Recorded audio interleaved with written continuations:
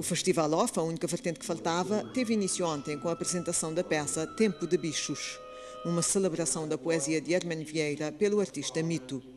Hoje o espetáculo chama-se Sonho em Movimento e é mais uma coprodução do Mindelact desta feita com companhias da Alemanha e da Itália.